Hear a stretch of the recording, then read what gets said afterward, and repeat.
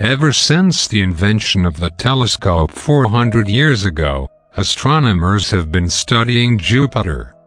Who could resist? It's such a big bright target in the night sky. Let us begin our journey to the gas giant, Jupiter. 1. How was Jupiter formed? There are many theories about the origins of Jupiter. Here is what we think happened nearly 5 billion years ago. A star in our galaxy exploded. The explosion caused a nearby cloud of gas and dust to collapse and flatten into a spinning disk. Most of the gas and dust collected into a hot dense core that became our sun. The remaining debris formed the planets and other small bodies in our solar system. And the majority of that debris came together to form the giant planet Jupiter. Of all the eight planets, we believe Jupiter formed first. Understanding the formation of Jupiter is essential to understanding the origins of our entire solar system. The formation of Earth, and the most basic foundations of life as we know it. 2. How is the atmosphere on Jupiter? Jupiter's atmosphere is special because it is the solar system's largest planetary atmosphere. It is made up of hydrogen and helium, in roughly the same proportions as are found in the Sun. However, it also contains much smaller amounts of other space gases, such as ammonia, methane and water. 90% of the atmosphere of Jupiter, a huge proportion, is made of hydrogen. It would be impossible for humans to breathe in this atmosphere. So, if you are thinking of traveling to space, to do some hands-on astronomy research, you would have to wear a breathing suit when visiting this planet. 3. Jupiter's magnetic field.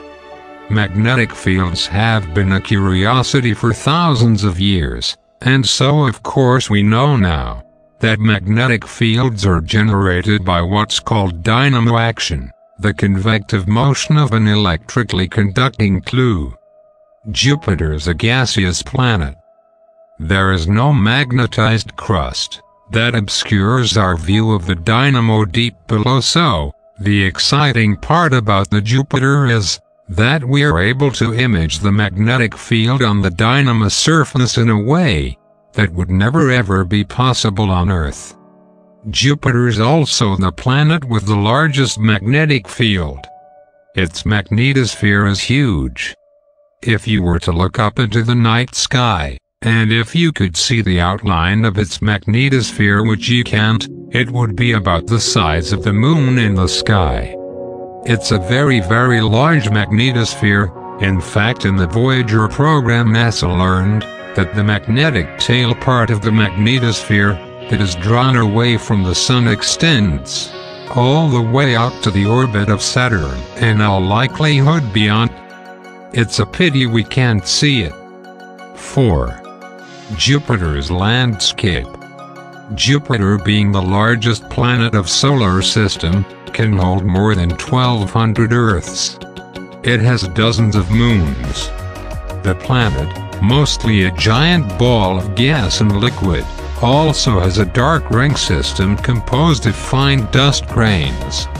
Air pressure on Jupiter is almost 1,000 times that on Earth. Winds on Jupiter can blow at as high as 400 meters per hour.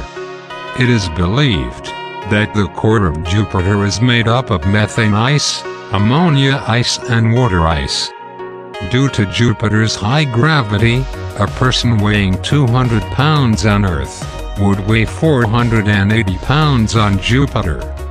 Southern Sphere See Jupiter's southern hemisphere in beautiful detail in this new image taken by NASA's Juno spacecraft.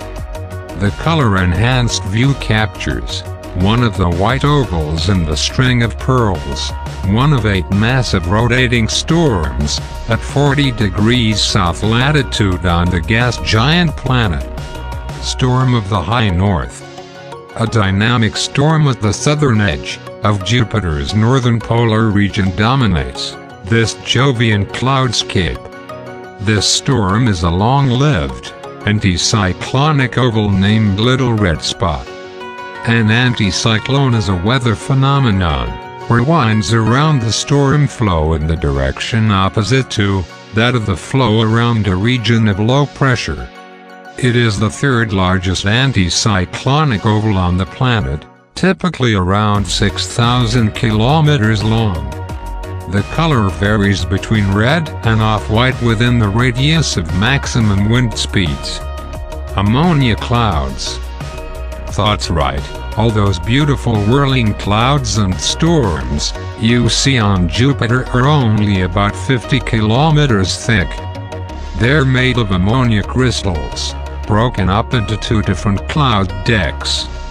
The darker material is thought to be compounds, brought up from deeper inside Jupiter, and then change color, when they reacted with sunlight. But below those clouds, it's just hydrogen and helium, all the way down. 5. Mystery of Jupiter Moons Jupiter has a 67 confirmed and named satellites. However, it also has four major moons, which are collectively known as the Galilean moons after their discoverer Galileo Galilei. These are, in order of distance from Jupiter, Io, Europa, Ganymede, and Callisto. Europa, Ganymede, and perhaps Callisto also show strong evidence of liquid water oceans beneath their global ice crusts. Europa's ocean is a significant body of water, with amazing potential for life. In fact Europa has twice as much liquid water as Earth, and like the water of Enceladus, it might be accessible. There is some evidence that Europa may have periodic eruptions of plumes of water, similar to those seen on Enceladus. NASA has even seen apparent icebergs on the surface, that are tipped up as if sitting in slush. All of these provide us with tantalizing clues of what lies beneath an ocean of liquid water. 6.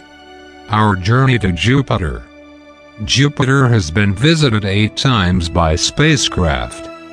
Jupiter was first visited by NASA's Pioneer 10 spacecraft in December 1973 and then Pioneer 11 in December 1974. Then came the Voyager 1 and 2 flybys, both of which happened in 1979. This was followed by a long break. Until Ulysses arrived in February 1992, followed by the Galileo space probe in 1995. Post that, Cassini made a flyby in 2000, on its way to Saturn. And finally, NASA's New Horizons spacecraft made its flyby in 2007. The last mission to fly past Jupiter was Juno spacecraft that visited Jupiter in 2016 to 17 by orbiting in Jupiter's polar orbit. Jupiter is by far the most mysterious planet that has characteristics like our Sun. It is always going to be the most interesting planets, for NASA due to its age and potential, to unravel the mystery of how was the universe formed.